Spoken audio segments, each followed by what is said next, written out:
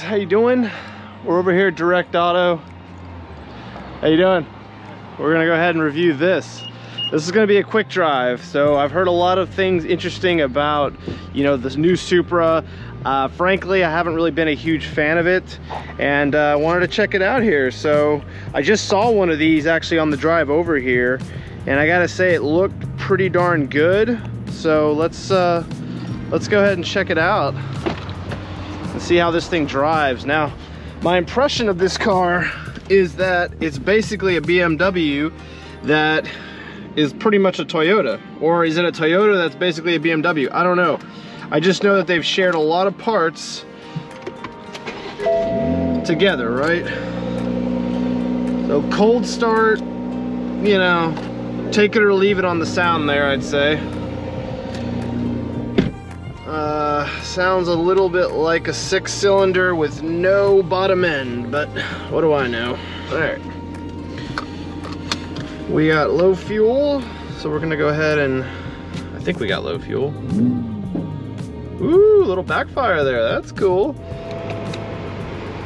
Okay, right off the bat, you get the BMW shifter. so, you know, this is supposed to be a Toyota, right? And they give you a BMW shifter. It's just, it's wild, you know, how much they shared of the DNA together. I mean, I had no idea that a Japanese company and, you know, a German company were like this, but, you know, whatever. I could say it's got a very fast dual clutch. I mean, very tight. Steering is extremely precise. Feels like an extremely modern car, no doubt about it. Just right out the gates, right? Brakes are really bitey, but pretty good.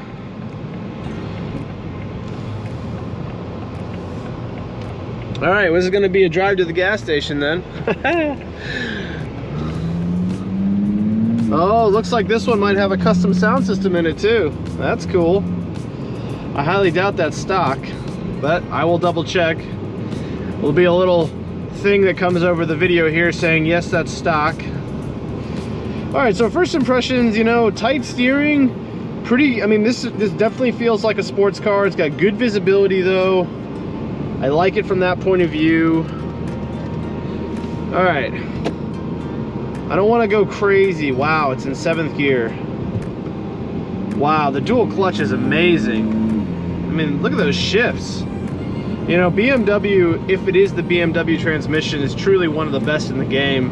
As far as engines, you know, as far as the uh, the different transmissions. I'm not saying it's as good as Porsche's PDK. I still think Porsche PDK is number one, but BMW and McLaren are right there. Uh, I would say in, in second place, you know, and then Mercedes is also right there too. I mean, they're all so good these days. All right, let's see if there's like an, a sport exhaust button or something because this thing is way too quiet for me right now.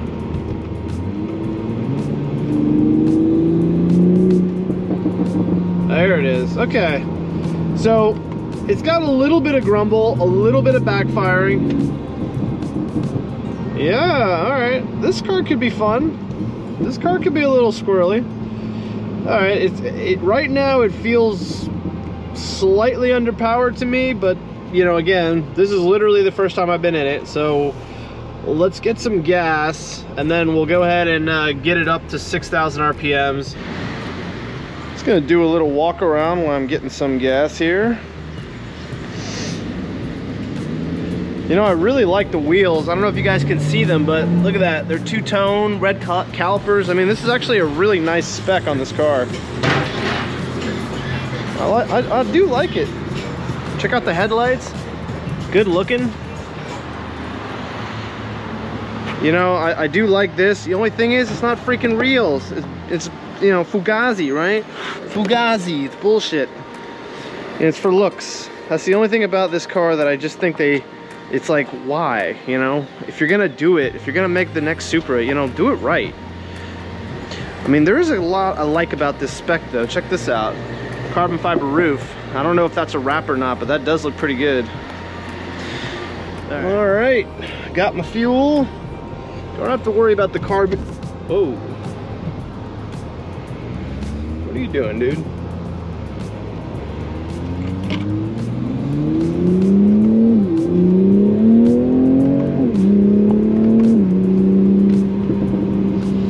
I gotta say, it's definitely fast. It's a little bit squirrely, actually. It's rear-wheel drive. It's definitely got a rear-wheel bias, I'll give you that. You know, but it feels good. It feels like a sports car, you know? It's fun. It's a fun little car. I could see why the reviewers that I've listened to about this vehicle, you know, the looks are a little bit off. It's not quite, it's it's too much of a detour from the old Supra to this, in my opinion, right? That's what a lot of the guys have been saying as well. And then I also think that, you know, the engine being, you know, so little, I mean, look, you can't even see the stoplight. You have to like, you know, point your head up here and then you could actually see it. So just keep in mind, this is pretty darn low.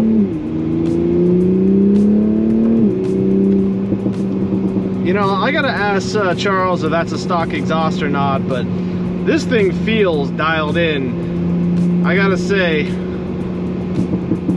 oh, that exhaust, it does it, it does sound like a six, you know, six cylinder. That's I could consider that a negative, I guess. I mean, it's not a V12, V10, right? V8. Whoa, it just kept me in my lane. How the hell do you turn that off? What was that? Is that BMW's, uh, you know, don't mess up technology? Because that was intrusive. If I want to switch lanes, I want to switch lanes.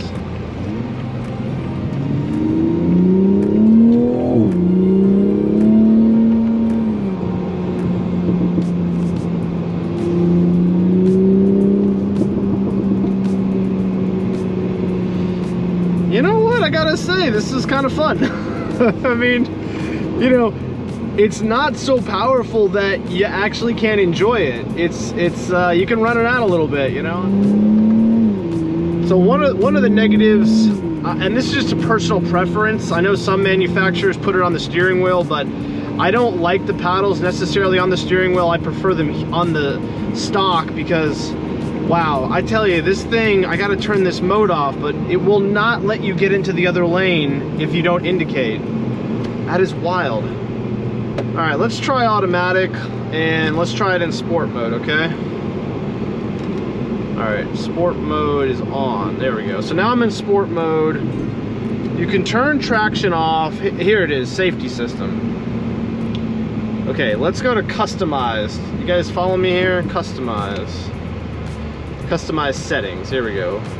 Front collision is early. Lane departure warning is reduced. Yeah, let's take off steering intervention. That is nuts. Okay. That's gonna drive a driver like me crazy, okay? I like to drive my cars. In fact, I like a lot of old school Porsches and whatnot because you have to drive them and it's your ass if you lose it, you know what I'm saying? So.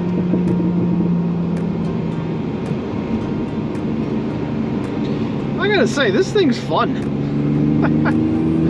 I mean, it, look, it's never gonna replace the Supra, you know, the 2JZ twin turbo, 800 wheel horsepower, you know, massive, you know, single turbo that takes, you know, three seconds to fully spool up, but then once it does, it makes the most insane performance, you know, insane sound, right? Like this, the way they've engineered it, it, it just, it isn't that, you know, and, and that is a zonk. I don't, I don't know how else to say it. it.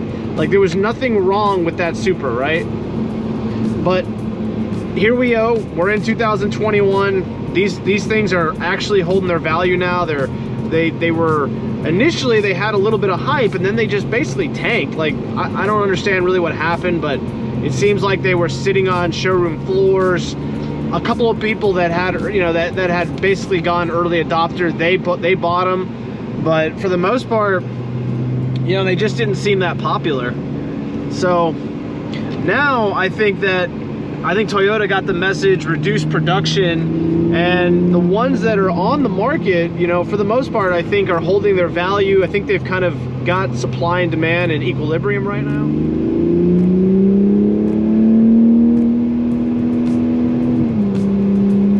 Interesting. So it's holding that gear. This is this is automatic, guys. So I gave it a little bit of gas, and then it held it. You know, I gotta say the transmissions are not quite as good as Porsche's. It just, it's just not quite as dialed in. Like right now, it's like, do I want to give them fuel economy or performance? it's, you know, again, it's all throttle control based. So if I were to like give it half throttle, it'll kick over to let's go. But still, if I was manually shifting it right now, of course I would go ahead and kick it up one since I'm, but the car doesn't know what's going on, of course, so. Nice carbon fiber interior here. I like the paint here. I mean, overall, you know, this is a, a pretty good cockpit. I mean, this is all like cheap economy car crap. You have this like plastic leather here, so, I mean, they did give you this stitch, but it's fake. It's not actual leather, right?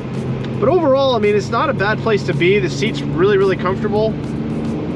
Leather condition is uh, is on the cheaper side though. This this isn't this isn't like the uh, I don't know like BMW has really good leathers in their 7 series and their 5 series.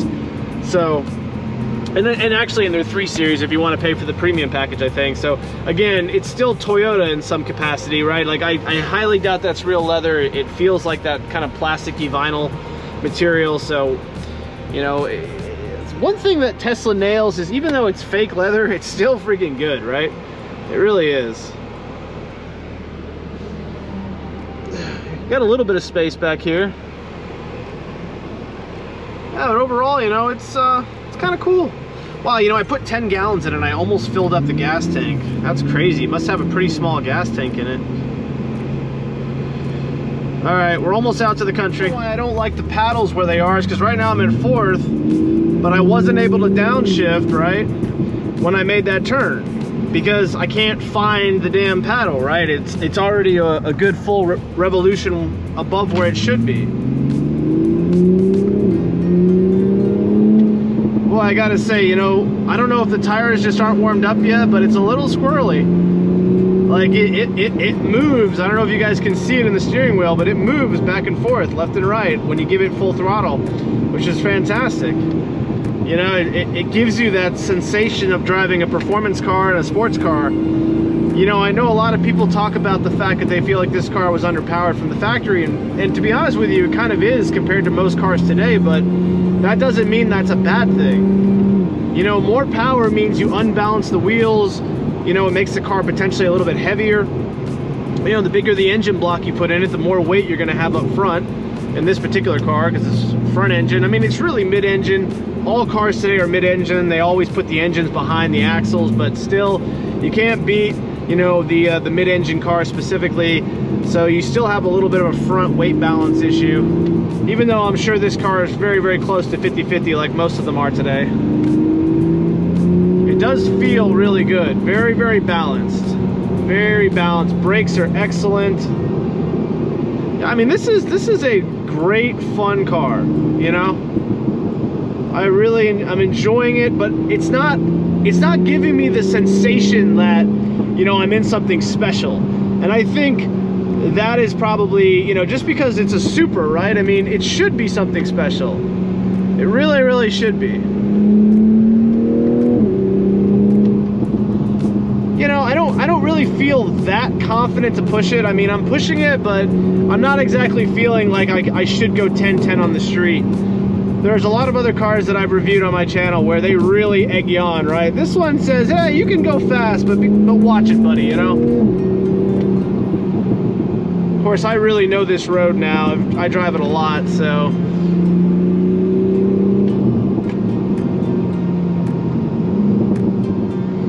All right, well, that's the uh, the fun from today. We've uh, uh, apparently run into a purple truck.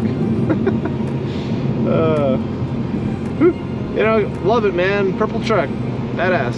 I'm assuming you painted your truck purple because I don't, I don't think that came from the factory like that. Very good.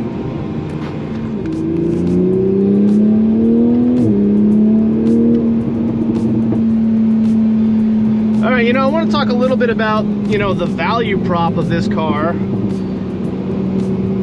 So you're looking at about, you know, mid 50s, low 50s which is uh, is pretty good, you know, as far as the price. I mean, it is quite a bit of car for the money. I'll, I'll give it that, but you also have to think about, you know, for for mid 50s, what what else could you get into? But I gotta say, you know, this is fun. I mean, it's a, you know, if you like the look and you know you're a Toyota fan and you like the reliability that that's going to offer you, and frankly, BMW is pretty much as good as it gets to as far as engine technology these days it's gonna be it, this car should last you a long time of abuse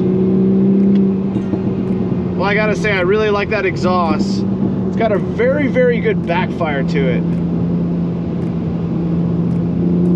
It also sounds pretty good. You know, it does sound pretty darn good. It's still a six though. God, I hate the truck drivers who take up all the space. Like, really, man? Least stay to your lane. I might be going fast, but I'm perfectly in my lane, right?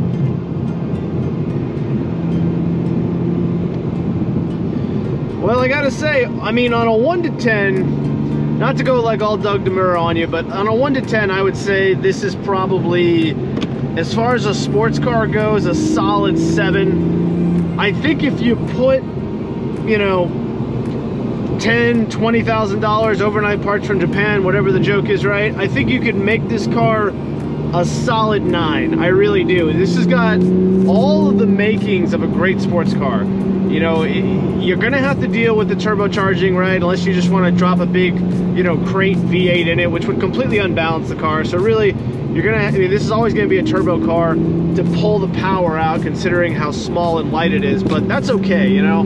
The turbos, I'm, I'm feeling hardly any lag. And I will tell you, you cannot hear them at all. You can't hear the turbos at all, at least not, not with the AC blaring like this. And, you know, I'm sorry guys, but it is, I'll turn it down a little bit because it's cooled off now, but it is so damn hot today. It's just humid, really. I mean, you, you just can't do car reviews in Tennessee. All right, sorry, I missed the turn there. Let's get back on here. That's my phone, by the way, that's rattling around. So you can see the traction control, it came up there. So, you know, it's saving my ass. I think if I turned it off, boy, I also will say once the traction control, it locks the uh, it locks the seatbelt. All right, that's full throttle. Know, that's not bad, guys. That's 80, you know, and I'm short shifting it. I mean, this is not my car, so, you know, I don't want to cause any kind of engine harm, so I'm shifting it just over five, which is, uh, you know, a good 1500 away from its red line. So, you know, you probably are giving up a few a few horses there, but at the end of the day, it's turbo, right? So really, it's all about that linear torque curve between about 2,800 and probably five that you're gonna spend most of your time in this car. As you can see with my review, uh, it's been like that. And I, it feels it feels very comfortable, by the way. You know, I always feel like I have plenty of power there. You know, I mean, I could see why the, re the reviewers don't like the car, right?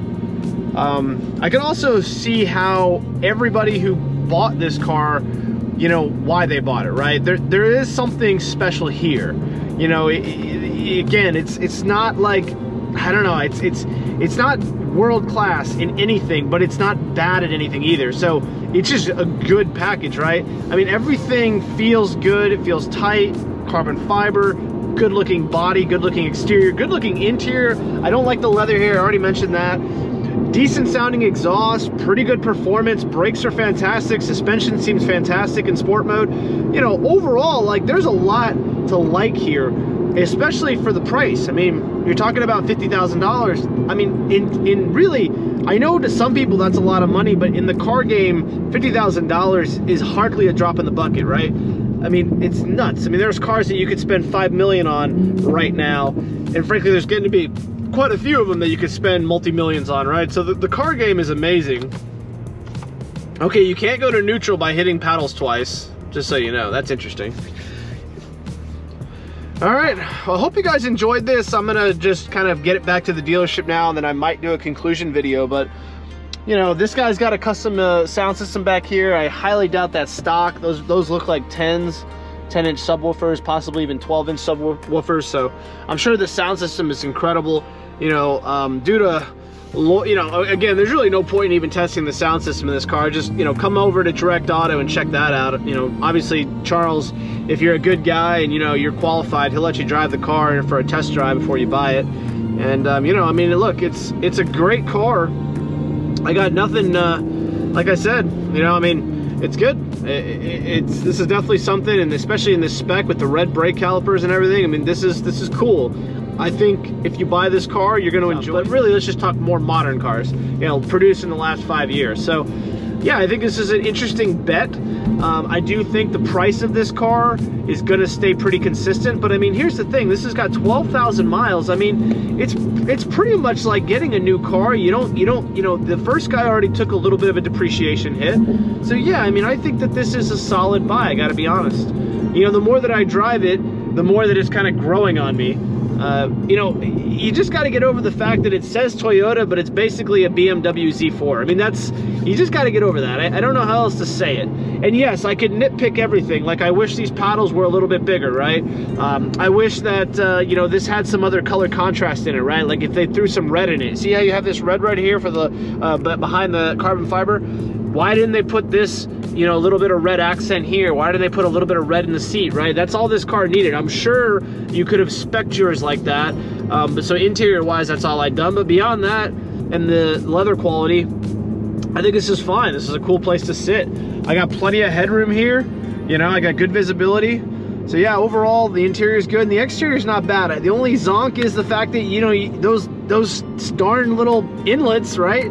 They're fake. I mean, that that just kind of grinds my gears. Like I don't want I want why don't you make them real? I mean, if if you designed the car like that, you must have designed it in a wind tunnel. You couldn't have found some strategic way of moving the air through the car to add more downforce. I mean, to me that just makes sense. Maybe they did it for emissions reasons or maybe they just were like, you know what, we're just gonna go and design them, but we're not actually going to make them functional. I, I personally don't get that. It, it, you know, as a manufacturer, you know, I'm an engineer at heart, right?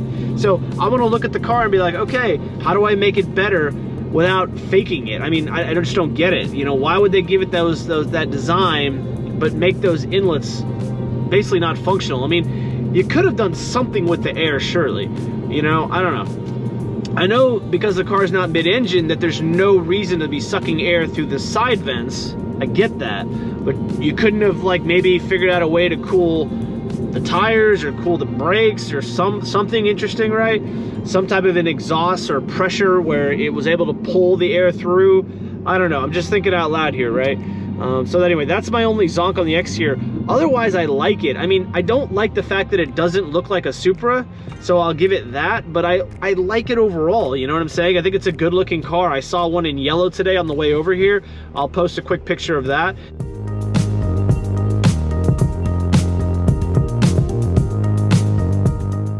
You know, it looked great in that color. So it's not a bad looking car. I really like the design of it. I do think you're gonna get a lot of attention on the road driving it just because it's really new and it really looks modern. I, am not sure how this car is gonna age, but it does just look like a really modern car, you know? The way the, the, the way it has the uh, the overall hood and everything and the way the shape of the uh, fenders and kind of the real 911 almost like clamshell kind of egg shaped, you know, where I'm sitting right now cockpit. It, it's got it's got some really nice lines to it. Again, it doesn't really look like the original Supra at all. I'll be honest there, so you could zonk it there, but overall, do you really care, right? I mean, I don't know. Just wanted to put this on camera for you. I do hope that you guys enjoyed this uh, little driving portion. If you're looking to buy one of these, I'm, I'm sure this was somewhat helpful for you, at least I hope it was. You know, please like and subscribe to the channel. Uh, love, I love reviewing cars. I love producing car content. I love all the great friendships I've developed in Nashville and the car community and all the vendors I now work with. And, you know, we just got such a vibrant, rich community here and we're so blessed. And, uh, you know, if you guys come down to Nashville, you know, get on Instagram, send me a message, send me a DM, and hopefully we'll have a chance to hook up. You know, I'm always connecting people. It's one of my favorite parts. And of course, if you want to buy this car, go ahead and reach out to Charles. You know, he'll uh, he'll he'll make he'll hook you up. I mean, he's the he's the man. He's he's so great to deal with. He'll take your car on trade. You know, he'll treat you fairly. Well, guys, here's the engine. You know, it's not much to it. Gotta say. Not bad though. I mean, it's just you can't see anything. I guess there's no sex